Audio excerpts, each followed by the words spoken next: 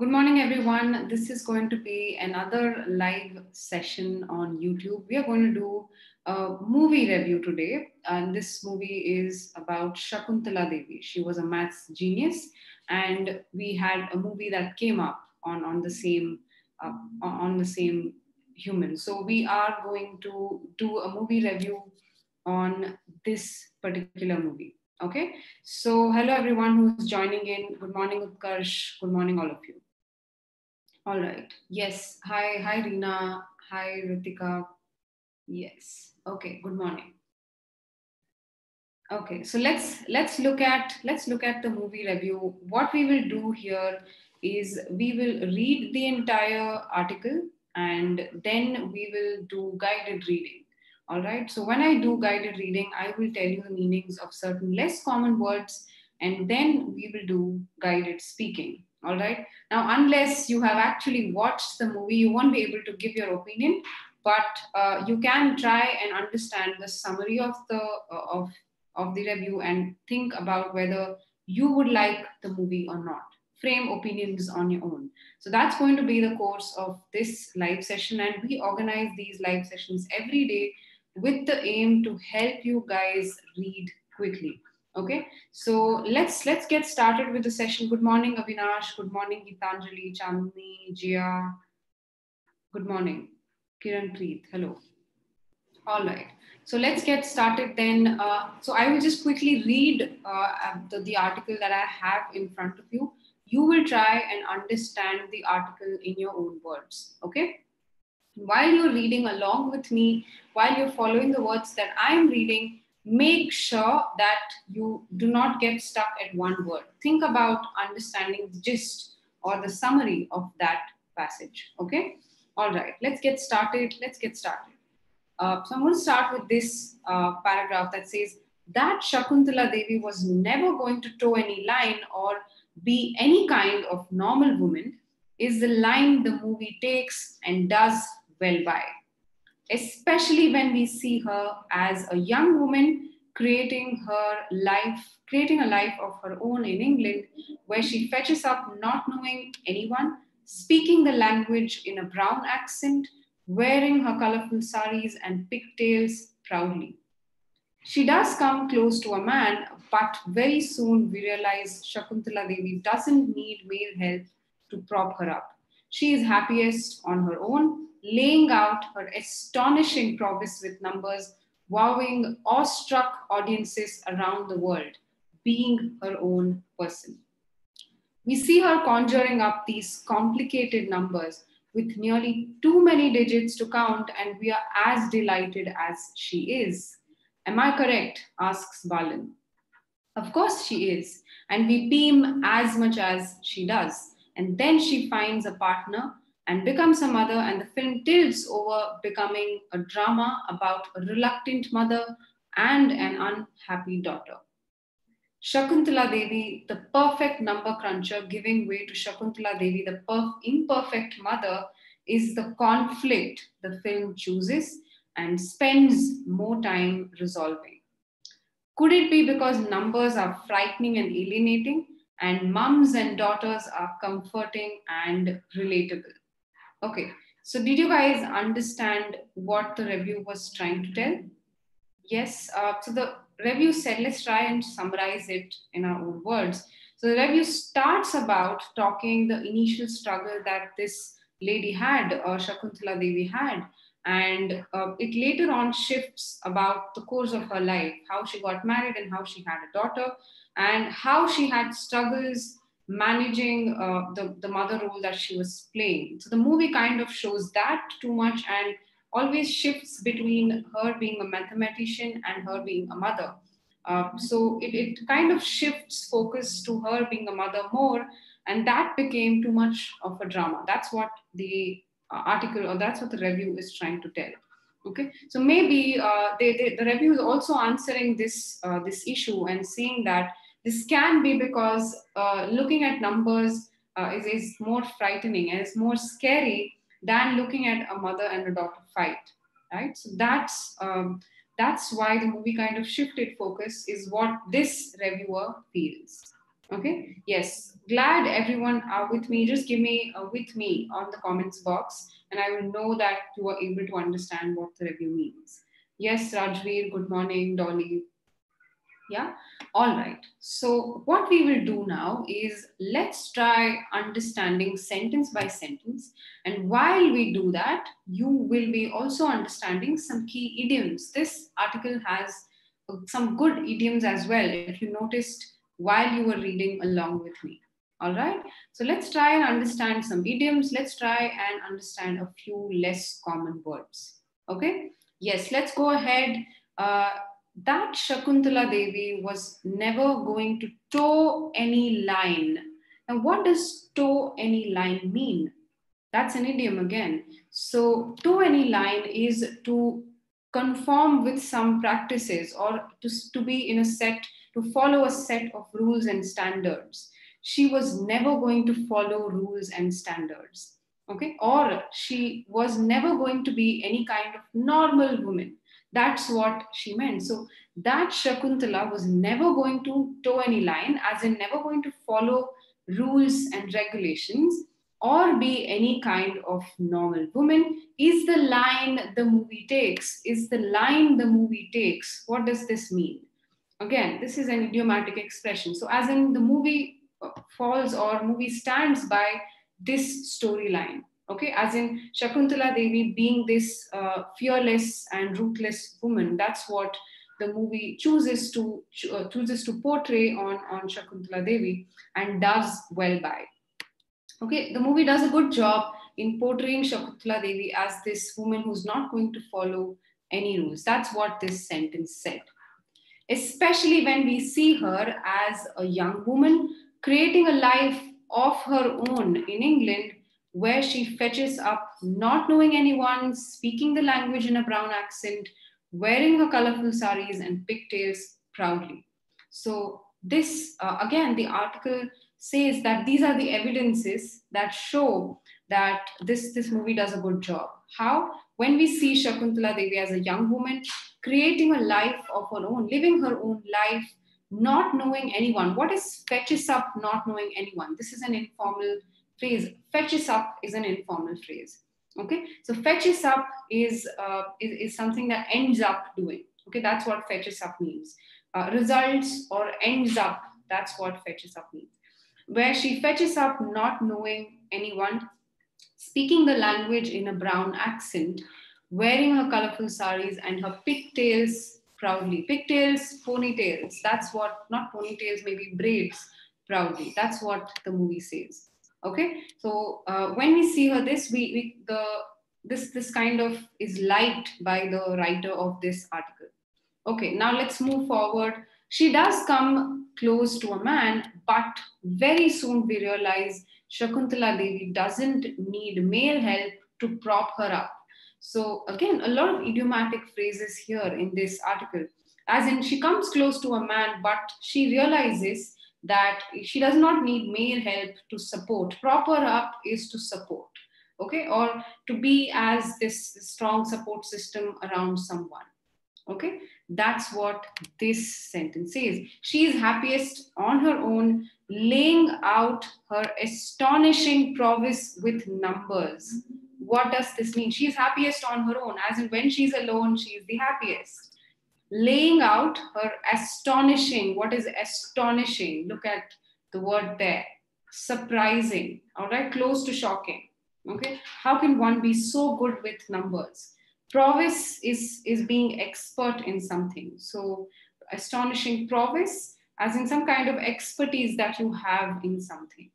Okay, so laying out her astonishing prowess with numbers wowing. Again surprising. Astonishing surprising uh, shocking people.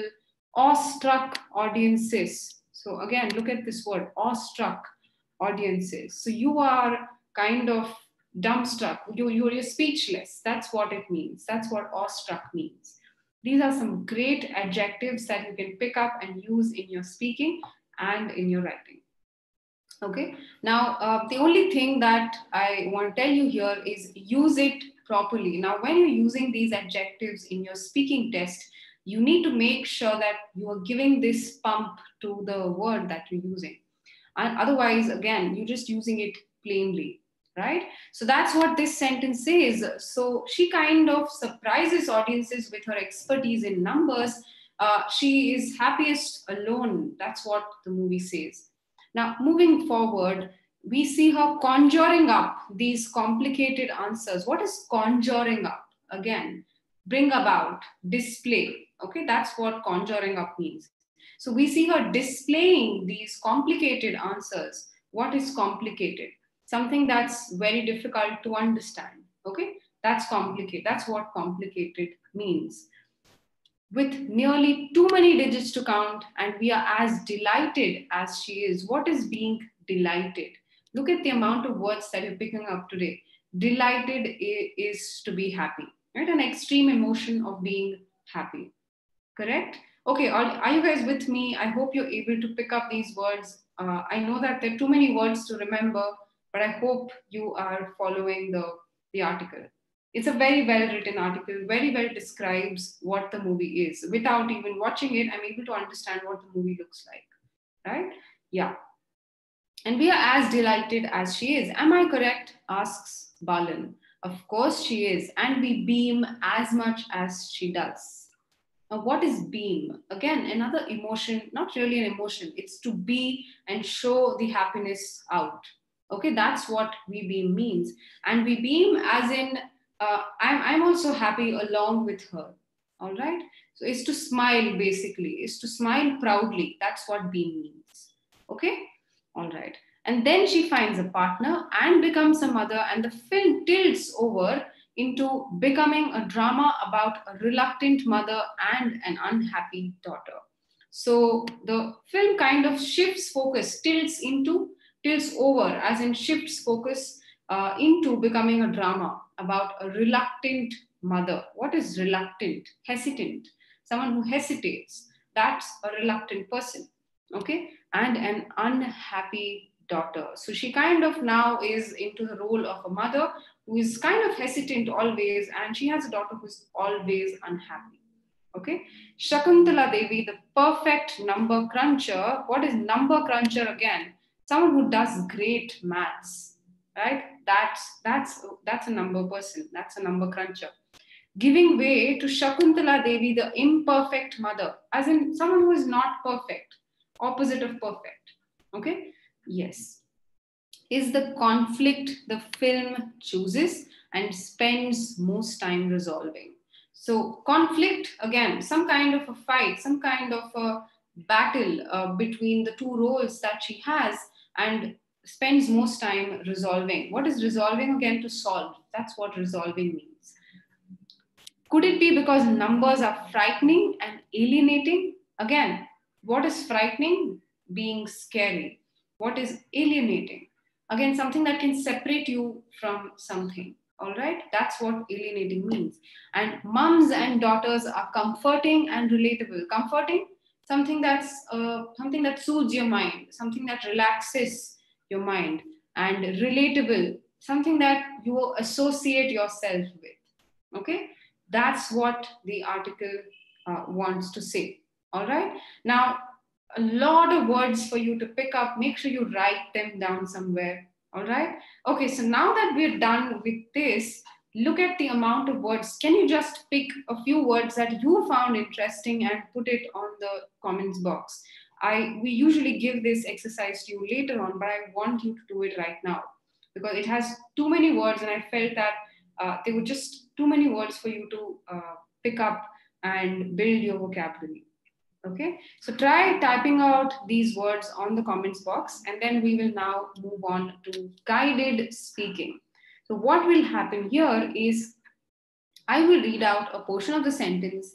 You're going to repeat after me in the same way, in the same kind of process that, that I'm giving, with the same kind of stresses that I'm giving, you're going to speak along with me.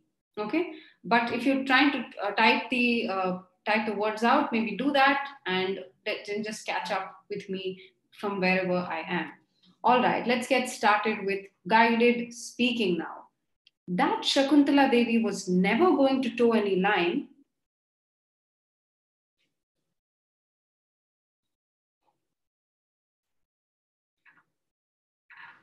Or be any kind of normal woman.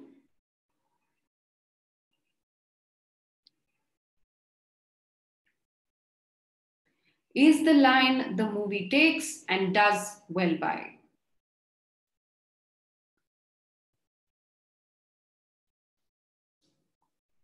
Especially when we see her as a young woman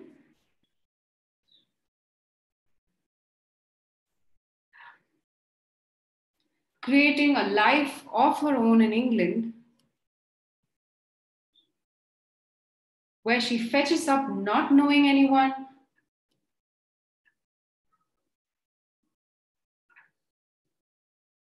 Speaking the language in a brown accent,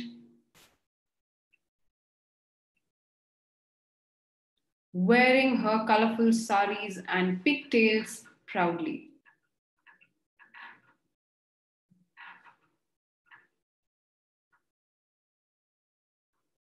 She does come close to a man, but very soon we realize Shakuntala Devi doesn't doesn't need male help to prop her up. Let me just repeat that sentence. She does come close to a man, but very soon we realize Shakuntala Devi doesn't need male help to prop her up.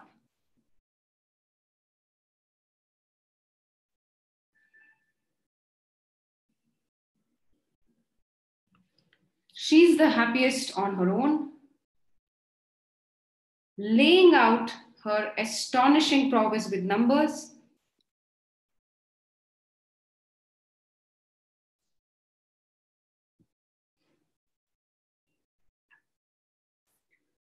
Wowing awestruck audiences around the world.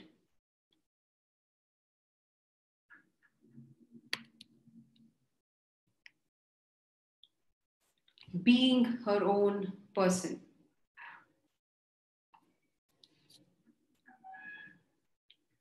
We see her conjuring up these complicated answers.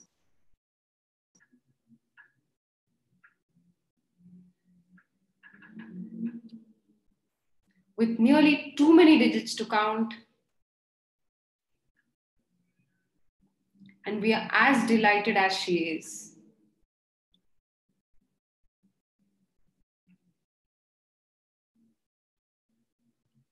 Am I correct? asks Balan.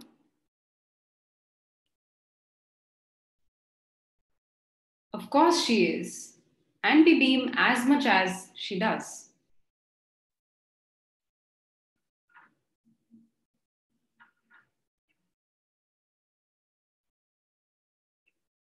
And then she finds a partner.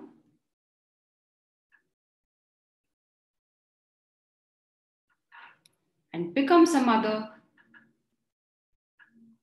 And the film tilts over into becoming a drama,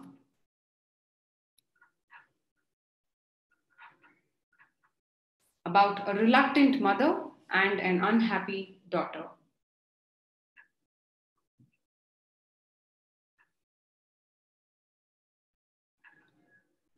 Shakuntala Devi, the perfect number cruncher,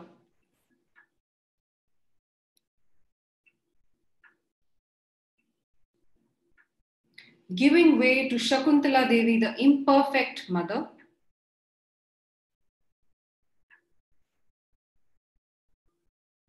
Is the conflict the film chooses and spends most time resolving.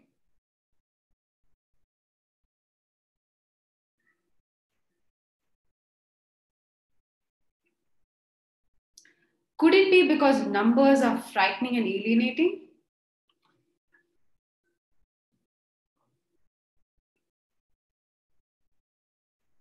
and mums and daughters are comforting and relatable.